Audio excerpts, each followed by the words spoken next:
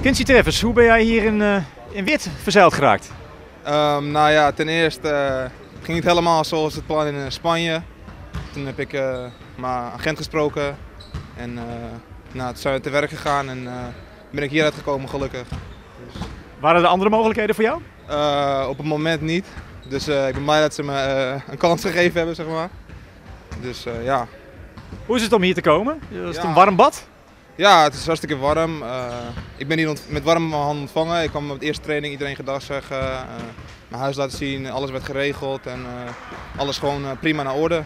Dus ik kan niet klagen. Is het alleen voor dit seizoen of kijken jullie ook al verder? nou, zover ik weet het voor dit seizoen, maar wie weet wat er dan gaat gebeuren. Ik heb nog geen idee, maar zover dit seizoen is nog, staat vast zeg maar. Je was wel toe aan iets positiefs, hè? want ja, Bergen op Zoom, dat ging niet door. En in Spanje bij de Basel Academy was het dus ook niet je van het. Nee, nee uh, ja, inderdaad, wat je zei. Uh, Bergen op Zoom was natuurlijk niet uh, helemaal in orde. Jammer genoeg. Maar goed, je moet op een gegeven moment verder gaan en moet je beslissingen nemen. En op dit moment is, ja, ik denk dat dit de juiste beslissing op dit moment van het seizoen weert. Dus, wat kunnen we van jou verwachten? Heb je er met coach Jamil over gehad? Wat wordt jouw rol?